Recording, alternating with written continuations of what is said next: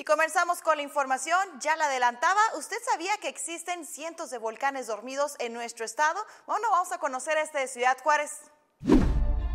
¿Usted sabía que en Chihuahua existen varios campos volcánicos? Bueno, en esta ocasión visitamos un volcán dormido que se encuentra fuera de la mancha urbana.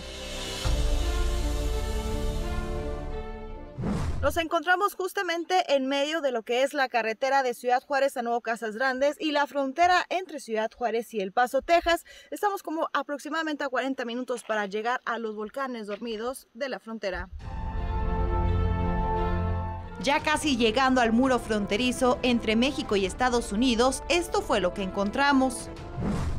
Y nos encontramos en otro punto de nuestro recorrido rumbo a los volcanes dormidos y como pueden observar nos faltan aproximadamente unos 20 minutos para llegar y se encuentran varios vehículos quemados en el camino.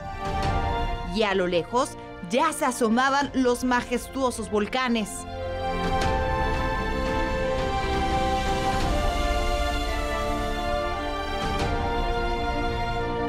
Y estos son los volcanes dormidos de Ciudad Juárez.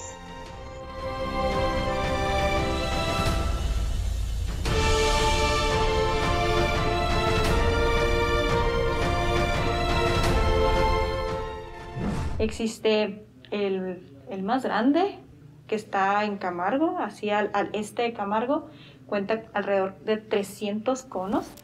Y luego está el del Potrillo, el campo volcánico del Potrillo que se encuentra en Nuevo México, pero está justo en la, de la frontera hacia el norte, que cuenta con alrededor de 100. Y luego está el campo volcánico de Palomas, que es el que está cerca, está al oeste de Ciudad Juárez, de acuerdo a Espejel, estos volcanes son contemporáneos, por lo que las edades van variando. El más grande es el que se encuentra en Camargo, Chihuahua, con 4.7 millones de años de antigüedad. El volcán más joven tiene 90 mil años. En el campo volcánico El Potrillo, las edades rondan entre los 80 mil años, el más antiguo, y 17 mil años, el más joven. Este volcán en el que nos encontramos es monogenético, significa que solo hacen erupción una vez y cuando terminan no vuelven a hacer erupción, por lo que no representa un peligro. En nuestra segunda parte les mostraremos lo que encontramos justamente en este volcán.